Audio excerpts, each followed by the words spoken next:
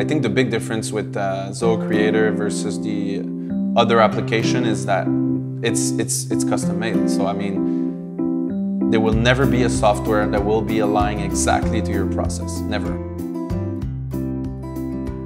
Adviso is a digital marketing uh, company.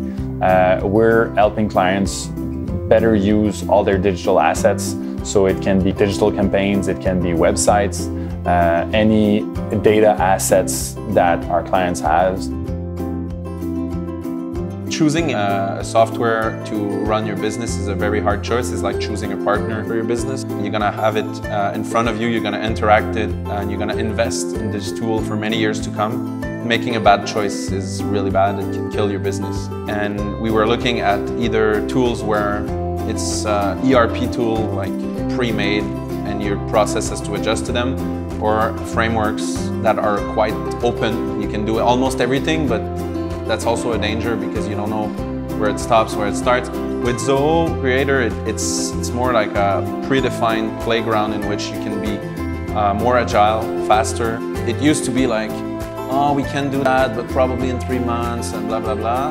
Now it's more like, we can do it and probably I can show you something in a week and we can fine tune it in another week and in uh, three weeks, you're going to be a, a, happy camper and you're going to get exactly what you want. We're using two, at least two different platforms, one for timesheet and another one for project management. And I think we also had another one for something else, I don't even remember.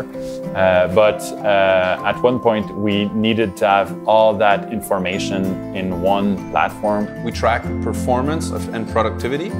We track employee uh, happiness. You know, if they if you get a super project but the employees are all dead and you know with the tongue on the floor at the end, it's not good. And the third one, it's the customer happiness. So we track those three data and I think if all those three data are going well, that probably you're going in the right direction. Before having Zoho Creator, it was impossible for us to have real-time surveys just after a project was finished. We needed to figure out, oh, I just finished a project, let's start a survey tool and send it to clients. It was way too long.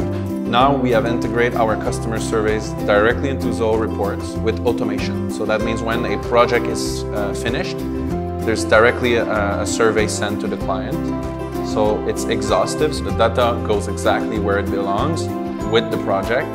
So it makes it much easier to be exhaustive and to be at the same time uh, organized and get the good things at the same place.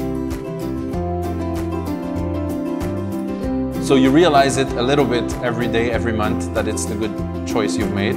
And you also realize it when you're not complaining constantly and you're not thinking about changing it all the time.